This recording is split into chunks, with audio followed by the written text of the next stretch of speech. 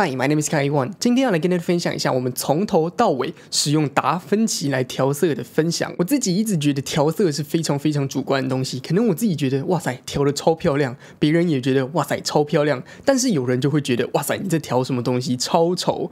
所以呢，就是非常主观的东西。但是你一定要先自己喜欢你自己的调色。如果你自己调的色你都不喜欢的，那你。想要干嘛？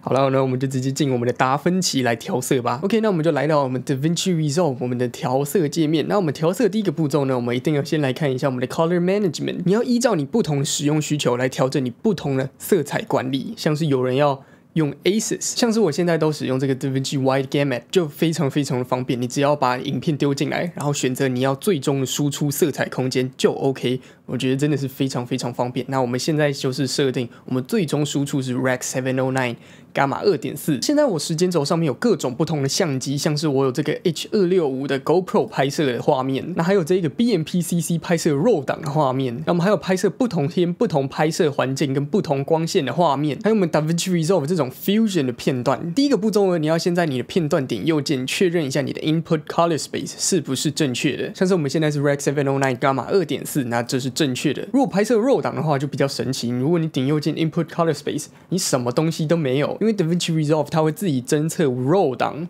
到底用什么相机拍，然后自己帮你套上一个色彩转换。那如果我们按 Bypass Color Management，我们就可以看到真实的 RAW 档到底拍出来是怎么样。百分之九十九的情况，DaVinci Resolve 都非常厉害，它会帮你自动侦测你的 Input Color Space，然后都还蛮正确的。但是有一些情况，像是你使用比较老的相机啊，或是比较特殊的相机，那它可能侦测不正确，它可能跑到什么 R E 什么 R E Log C 之类的，然后你就会发现，哇塞，我的颜色怎么那么神奇？然后你如果现在没有先把你的 input color space 确定好，然后你就直接开始调色的话，你就会。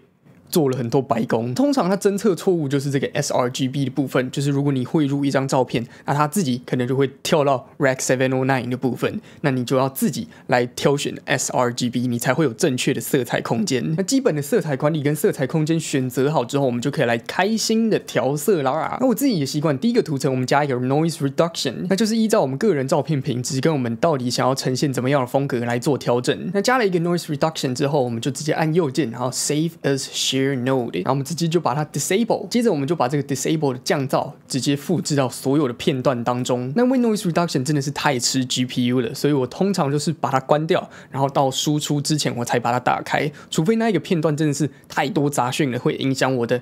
判断颜色，不然我都会把它关掉来进行调色。接下来我们就来增加我们的图层，最基本我喜欢开三个。这第一个图层我喜欢来调整会影响整体画面的东西，像是整体的曝光、我们的对比度啊、我们的。饱和度跟鲜艳度啊，我们色温跟色相的部分。那下面这个图层我就会依照不同的相机来做不同的调整。像是我们如果用 RAW 档拍摄的话，我就会使用 High Dynamic Range 色轮来做调整。那如果像是使用 GoPro 拍摄的 Rec 709档案的话，我就会使用我们的 Primary Wheels 跟我们的 Log 来做搭配使用。OK，那我们就直接来进行我们的调整。那像是我们的 Specular 最高光的部分，我想要把它压回来一点点。那我们 Highlight 提亮一点点。就把我们的高光对比降低，那我们 light 也把它提亮一点，让整体的高光再浓缩一点点。那接下来我们暗部调整的部分，那我想要让我们的暗部增加对比，所以我们就把我们的 shadow 拉起来，让我们的 dark 把它压黑，让我们在原本比较暗的地方让它变亮了一些些。那我们再回去第一个图层，我们把我们的对比再降低一点点，然后我们再用我们的 dark 直接压到我们喜欢的黑色程度。像是这样子，那下面这个图层呢，我们就看使用需求。像是我们想要增加一个渐层，这样看起来好像就把我们的桌上反光变更强，让上面更亮一些些。经过这些步骤，我们就可以快速从我们的 before 到我们的 after。直接增加我们影像的质感。那接下来我们就来进行会改变颜色的部分，像是我们想要把一个蓝色变得比较鲜艳一点点，或者是把一个蓝色变得比较绿色一点点之类的，那我们就可以来我们的曲线工具。像是我想要让这上面蓝色变鲜艳一点点，我们就点选它，把它拉起来，然后我们来选择一下我们需要的。调整空间。那像是我们现在画面中绿色其实没有很多，只有一点点而已。那我想要让这些颜色变得更凸显的话，我们就把我们的绿色部分直接给它降低一些。接下来我们来看一下我们的 before 跟 after，看看我们到底增加了多少东西在上面。接下来你可以一直持续这些步骤，然后一直去深入调整你的颜色。像是我想要让什么，我这边的皮肤色左半边变黄一点，然后右半边变。白一点之类的，你可以超级细微去做调整。但是我们现在就先示范到这边，那我们接下来就来调整不同片段的部分。让我们把刚刚这一个片段贴到我们一起拍摄同一个场景的画面。但是我觉得，哎，这个画面好像我的肤色有点怪怪的，我们就可以来到我们的 Vector Scope 来看看我们的肤色到底。大部分都在哪边？Vector Scope 这里有一个肤色的参考线，那就调整一下，直到你满意为止。那后面这个片段虽然是同一个场景，但是我们的光线改变了，所以我们的颜色也稍微改变了一些，我们就要来细微做调整一下。我们色温做一下调整，我们的亮暗也做一下调整，我们的色轮也做一下调整。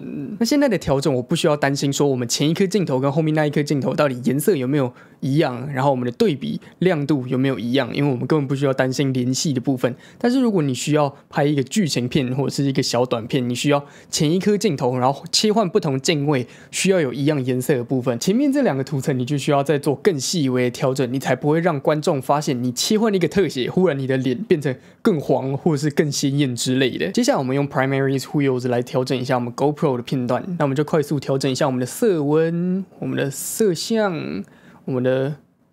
饱和度跟鲜艳度，接下来我们提亮我们中间调跟暗部亮部也给它调整一下。那我想要让我的人的肤色跟我们的背景稍微分开一点点，我们就用我们的色轮来稍微做一下调整。那我想要再增加一下暗部的对比，我们可以把我们的 lift 拉起来，然后我们到我们 log，然后把我们的 shadow 压下去，那我们就快速调整好了。接下来我们来跟大家分享一下，我们使用 fusion 的话，就是我们特效有点像是 Adobe A E 的部分。它的色彩管理有一点不太一样，就是如果我们到了 Fusion 页面，我们整个达芬奇里面只有 Fusion 这个页面使用了 Gamma 是 Linear，然后我们在 Fusion 里面它完全都不会帮我们做色彩管理，所以我们就要来自己手动的做色彩管理。我们原本这个小图示的素材是 Rec 709的色彩空间，我们就需要把我们的709二点四转换到我们自己设定的时间轴色彩空间跟 Gamma，然后再转换一次，就是用我们的时间轴色彩空间跟伽马转换到我们的 linear 伽马来一个逆向操作的概念，这样子才能在我们的影片中呈现正确的颜色。如果没有自己做色彩管理的话，我们就会看起来像这样子哦，一个平平颜色怪怪的颜色。所以如果你要在 Fusion 里面做字卡或者是一些动画效果的话，你一定要自己。做手动的色彩管理，你才会有正确的颜色。那我跟大家示范调色这一支影片，我完成之后，我会放在下方链接，有兴趣就去看一下吧。那这是我们今天的达芬奇调色从头到尾的分享影片。当然，喜欢这影片按个赞，订阅频道可以看更多的相关影片。这里有一个全部都是教学影片的 playlist，make sure you check it out。My name is Kai Wan，and I will see you guys next time. Bye bye.